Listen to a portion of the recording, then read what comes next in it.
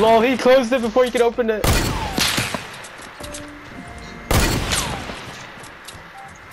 Oh my god, still! Oh, that scream! I'm recording that.